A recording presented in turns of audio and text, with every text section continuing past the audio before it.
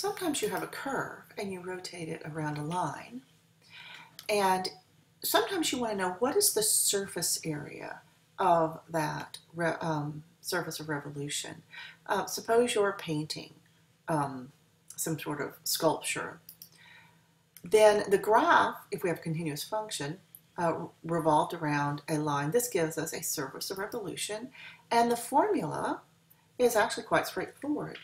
The surface area is 2 pi times the integral from a to b of r, where r is the distance um, to the curve, times the square root of 1 plus fx squared. Uh, f prime x squared dx, or again, we do it in y. Let's try an example.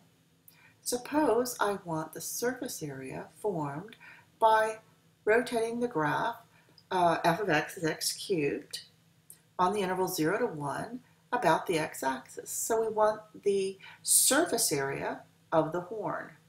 Now I know the surface area is equal to 2 pi, the integral from a to b, r of x,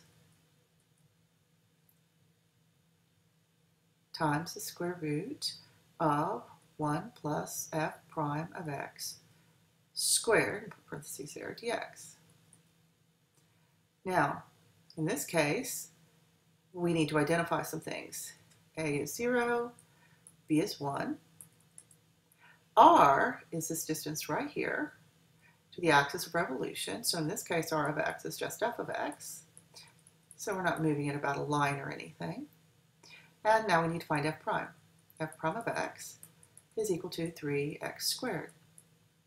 So the surface area is 2 pi the integral from 0 to 1. r is f of x, so that's x cubed, times the square root of 1 plus f prime squared. So this is 3x squared squared dx. All right, so if I look at this, this is 2 pi, the integral from 0 to 1, x cubed times the square root of 1 plus 9x to the fourth dx.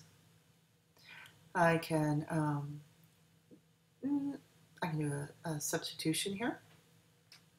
When I do this integration, I see I have u du. When I do this integration, I wind up with 2 pi over 36, so that's pi over 18, times 1 plus 9x to the fourth to the, and I had 1, so it's 3 halves, evaluated at 0 and 1.